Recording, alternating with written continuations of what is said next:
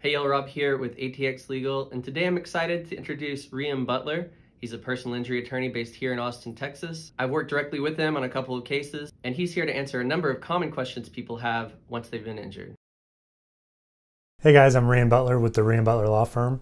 I'm here today to answer the question How much is my personal injury case worth? This is one of the most common questions we get at, at initial intake and at a consultation. It's also one of the hardest ones to answer. Ultimately, the only person that can decide what a case is worth is a jury. 12 people randomly selected from the county or, or a portion of, of the state, and they have to decide what someone's case is worth.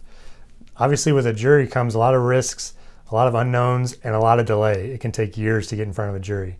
So, from that, the lawyers have to make our best estimate of what a case might be worth and then figure out what the, the lack of those risks, the lack of the delay, might be worth as a reduction from that full value. The short answer is that a case can be worth a couple thousand to multi multi millions of dollars. It all comes down to what's actually happened in the case. Uh, the three biggest factors relate to the person that's been injured. What are their injuries? What has their treatment been like to get there? And what are the policy limits available to recover for those injuries? In Texas, unfortunately, a lot of times people don't have any coverage at all, and so you're left with the uninsured motorist coverage you've purchased on your own policy. If someone does have coverage, the minimum limits in Texas are $30,000 those can be gone in a matter of weeks, months, or, or even days from the medical bills that rack up when someone's injured.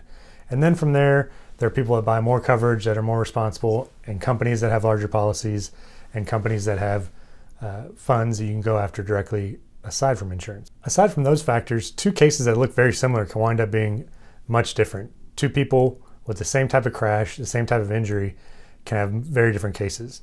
Uh, different injuries can heal differently for, for different people. Two people might have the same herniation in their neck.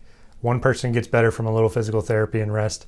The other person doesn't, and they wind up needing surgery. Those two cases are going to be vastly different recoveries. Brain injuries are another big one. Brain injuries are very personalized. Uh, about 80% of people get better within a matter of months, and, and so those cases can be fairly simple to resolve.